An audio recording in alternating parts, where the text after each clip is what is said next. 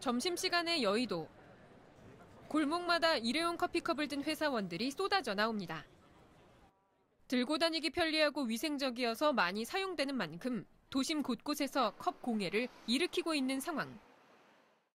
이에 유명 프랜차이즈 카페 대부분 일회용 컵 사용을 줄이는 협약을 맺고 매장 내에선 머그컵이나 유리컵 등 다회용 컵 이용을 독려하고 있습니다.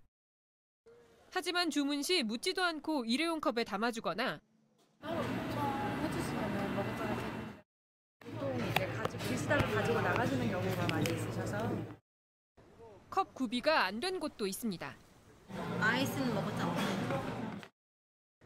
여성환경연대가 서울 경기 지역의 커피 전문점 72곳을 대상으로 조사한 결과 다회용 컵을 제공하는 매장은 전체의 3분의 1에 불과했고 또 이 같은 정보 안내도 미흡한 것으로 나타났습니다. 아직까지는 그런 얘기 한 번도 못 들은 것 같고요. 예, 그냥 당연하게 저희는 테이크아웃 하는 일회용 컵으로 그냥 바로 일회용 컵으로 주는 경우가 많더라고요. 우리가 많이 쓰는 일회용품인 비닐봉투의 상황은 어떨까? 재활용법에 따라 비닐봉투는 20원을 받고 판매해야 합니다. 무상으로 제공할 경우 최대 300만 원의 과태료가 부과되지만 고객 편의 때문이라며 안 지키는 곳이 태반입니다. 공짜로 그래요. 팍팍 썼어. 원래 공짜로 주면 안 되는 거 아니에요? 아니, 괜찮아. 전문가들은 현 제도와 법규에 구멍이 있다고 지적합니다. 자발적 협약의 경우 실효성을 평가하기가 어려울 뿐더러 현행법상 일정 크기 이하의 업소는 단속 대상에서 제외되는 등 예외 조항이 생긴다는 겁니다. 상황이 이렇다 보니 민원이 제기되며 관리 감독에 나서야 할 지자체도 소극적인 실정입니다.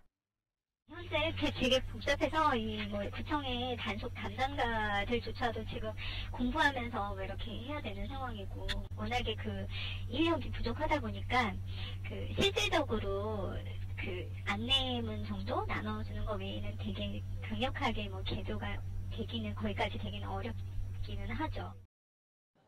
전문가들은 단속뿐 아니라 소비자의 참여를 이끌어내는 방안이 필요하다고 조언합니다.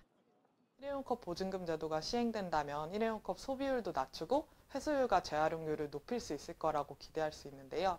어, 이와 함께 편의점이나 이제 소매점에서도 그런 종량제 봉투를 대신 판매하는 경우가 좀 더 있다면 소비 자체가 줄어들 수 있을 거라고 보고요. 규제기관과 사업자의 노력.